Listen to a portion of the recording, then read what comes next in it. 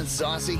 Come down to A&W and dip a juicy five-piece hand-breaded chicken tender combo into our new spicy three-pepper fire sauce or our new savory A&W sauce.